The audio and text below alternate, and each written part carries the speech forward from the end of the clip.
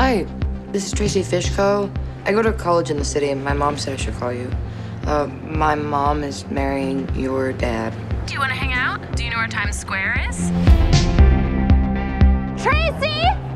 Times Square is so crazy. Isn't it? I don't know anyone who lives here. Yours truly. I got off the bus from Jersey. I thought this was the cool place to live. It's Times Square. so stylish. I know. I freelance as an interior decorator. You know the Bowery Hotel? Oh my god, yeah. Well, if you walk about a block south, there's a laser hair removal center that's very hip. I did the waiting room.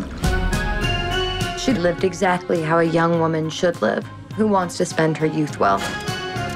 Must we document ourselves all the time?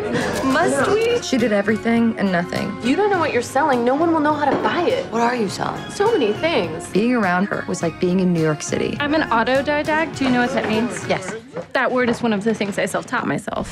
People are always taking my ideas. My ex-friend and nemesis, Mamie Claire, stole my ideas and my fiance. And then she literally stole my cats. You must seek out this Mimi Claire. Spirit says you have unfinished business with this woman. You have to listen to Spirit. The young one is right. She's not that young, 10, 10 to 12 years younger. We're contemporaries, okay?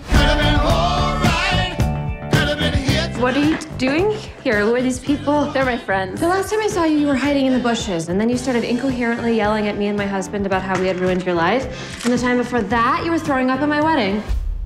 Are those my cats? They'll love you. You're the good girl. There's no cheating when you're 18. You should all be touching each other all the time.